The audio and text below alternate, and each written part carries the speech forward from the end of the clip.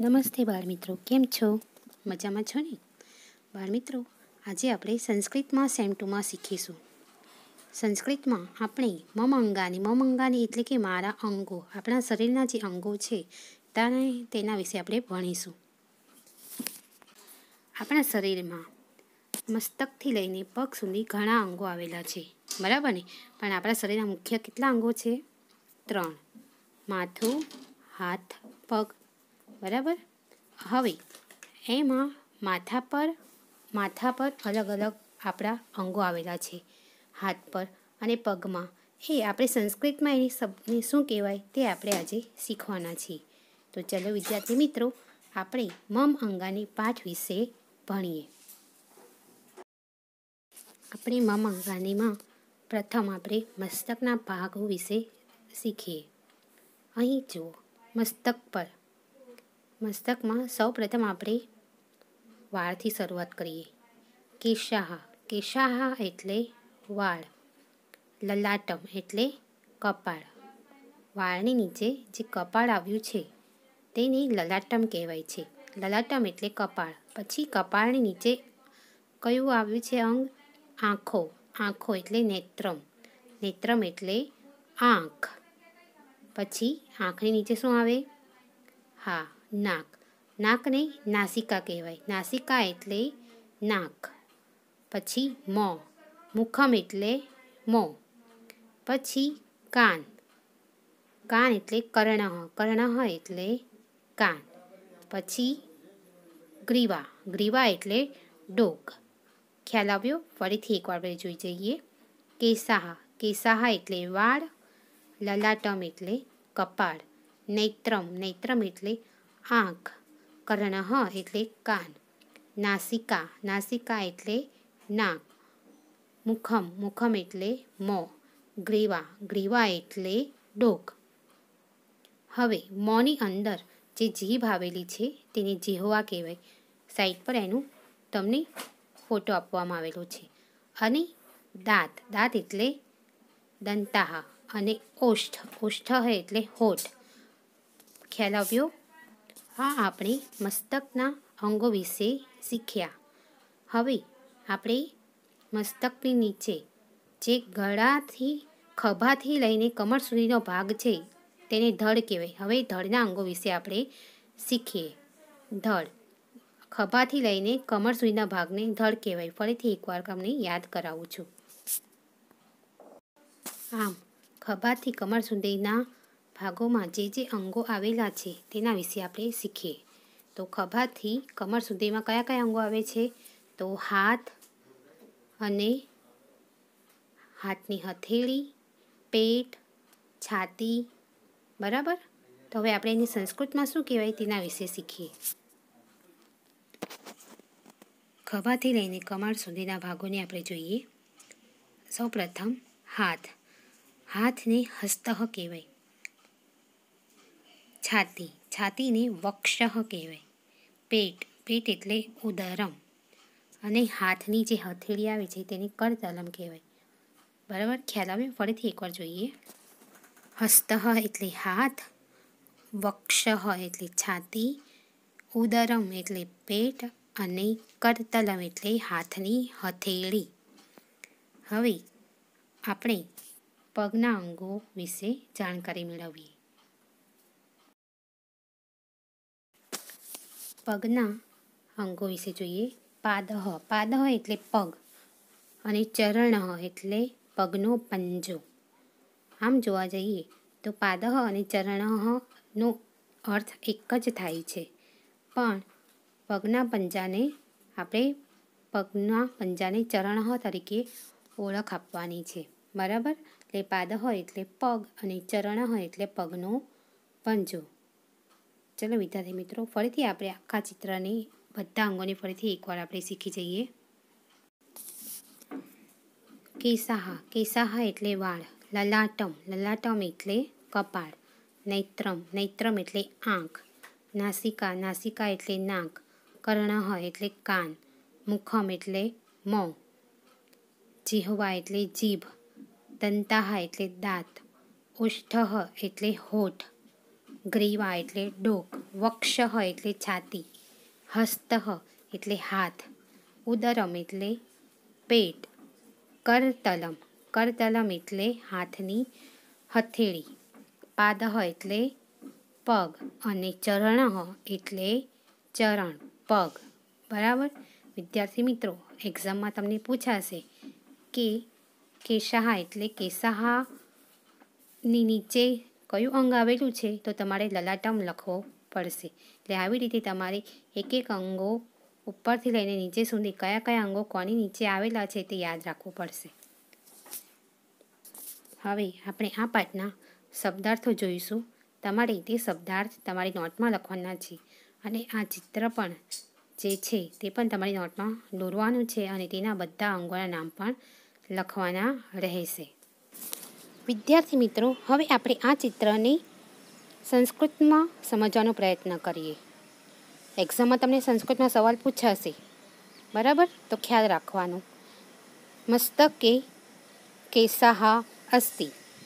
મસ્તકે દ્વે કર્ણાહ અસ્તિ. દ્વે કર્ણાહ એટલે કે બે કાનો છે. મસ્તકે એક લલાટમ અસ્તિ. મસ્તકે દ્વે નેત્રમ અસ્તિ દ્વે એટલે બે બે નેત્રો છે મસ્તકે એક નાસિકા અસ્તિ મસ્તકે એક મુખમ અસ્તિ મસ્તકે મસ્તકે એક જીહવા અસ્તિ જીહવા અંત એક જીહવા અંત દંતઃ અસ્તિ એટલે જીભની અંદર દાંતો છે બરાબર હવે એક્ઝામમાં પૂછાય કે વાળની નીચે શું છે? ની આંખની નીચે શું છે તે તમને ખ્યાલ હોવો જોઈએ. બરાબર? ચલો, હવે મસ્તકસ્ય અધઃ કહ અસ્તિ? તો મસ્તકસ્ય અધઃ કંધરા. કંધરા એટલે કે ખંભો. મસ્તકસ્ય અધઃ કંધરા અસ્તિ. મુખે એકા ખાલી જગ્યા વર્તતે, એટલે કે મુખમાં શું હોય છે?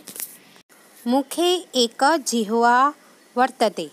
દાંત, હોઠ, જીભ અને ગ્રીવા એમ આપેલું પણ મુખ મુખે એટલે મુખે એટલે મુખ એટલે કે મોઢું.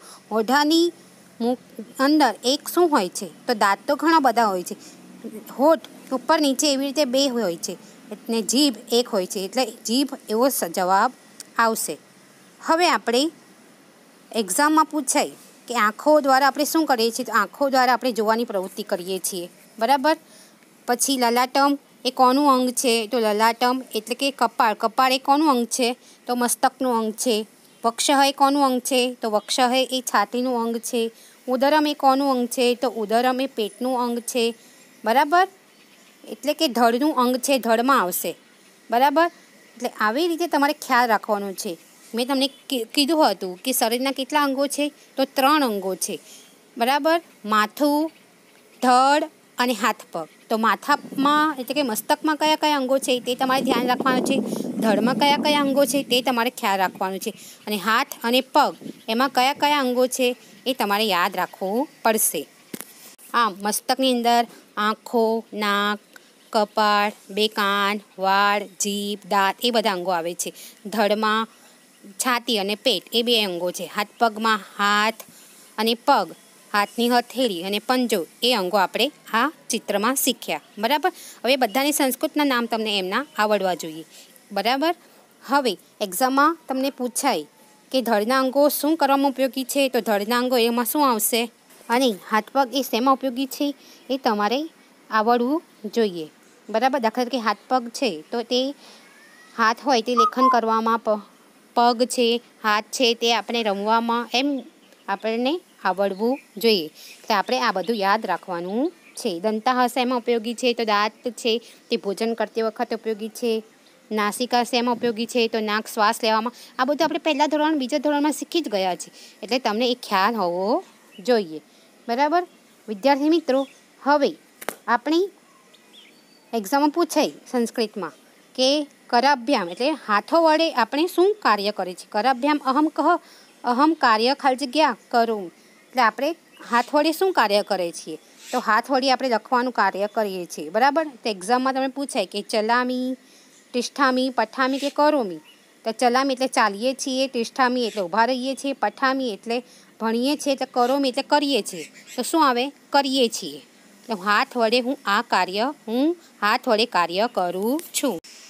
વિદ્યાર્થી મિત્રો, આવી રીતે આપણે મસ્તક, ધડ અને હાથ પગના જે ભાગો છે, શરીરના મુખ્ય ભાગો, એમાં કયા કયા અંગો આવે છે તે તમને યાદ રહી ગયું હશે. અને એક્ઝામમાં પણ તમને એ અંગો આપેલા હશે અને તમને આ ત્રણ મુખ્ય અંગો છે એમાં વહેંચવાના રહેશે. તો તમને આવડશે ને? હા. તો આવી રીતે તમારે બધા અંગોને યાદ રાખવાના છે. ચલો વિદ્યાર્થી મિત્રો, આપણે આગળ વધીએ. વિદ્યાર્થી મિત્રો એક્ઝામમાં તમને આ એક એક અંગનું ચિત્ર બતાવીને પૂછવા પૂછાશે કે એ તત કિમ? દાખલા તરીકે મસ્તકમ છે, તો મસ્તકમ એ નપુસકલિંગ શબ્દ છે. તો સવાલ પણ એ રીતે જ પૂછાશે એ તત કિમ? તો તમારે જવાબમાં લખવાનું રહેશે એ તત મસ્તકમ.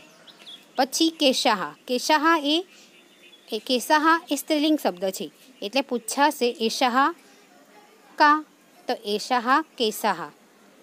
પછી કર્ણઃ. કર્ણઃ એટલે એ પણ પુલ્લિંગ શબ્દ છે. તો એશઃ કહ?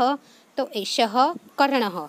ગ્રીવા એશા કા એશા ગ્રીવા એતત કિમ તો એતત મુખમ નાસિકાનું પૂછાશે એશા કા તો એશા નાસિકા નેત્રમ એતત કિમ તો એતત નેત્રમ બરાબર એવી જ રીતે ઉદરમ એતત કિમ તો એતત ઉદરમ આવી રીતે તમને લિંગ પ્રમાણે પ્રશ્ન પૂછાશે અને એ તમારે લિંગ પ્રમાણે જ એના જવાબ લખવાના રહેશે બરાબર?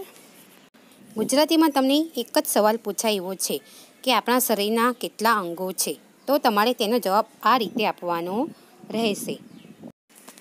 આપણા શરીરના મુખ્ય ત્રણ અંગો છે, માથું, ધડ અને હાથ, પગ.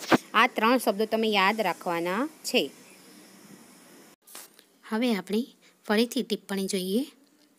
ચેપ્ટર વન મમ અંગાની મમ અંગાની એટલે મમ એટલે મારા, અંગાની એટલે અંગો, મારા અંગો. મસ્તકમ મસ્તકમ એટલે માથું. કેસાહા કેસાહા એટલે વાળ. લલાટમ એટલે કપાળ. નેત્રમ એટલે આંખ. નાસિકા એટલે નાક. કર્ણહ એટલે કાન. મુખમ એટલે મોં અથવા મોઢું. જીહવા એટલે જીભ. દંતઃ એટલે દાંત. ઓષ્ઠ એટલે હોઠ. ગ્રીવા ગ્રીવા એટલે ડોક. હસ્તઃ એટલે હાથ. વક્ષ એટલે છાતી, ઉદરમ એટલે પેટ, કરતલમ એટલે હઠેળી પાદહ એટલે પગ, ચરણ એટલે પગનો પંજો. ખ્યાલ આવ્યો વિદ્યાર્થી મિત્રો? વિદ્યાર્થી મિત્રો, હવે તમારી નોટમાં આ શબ્દાર્થ ઉતારવાના રહેશે.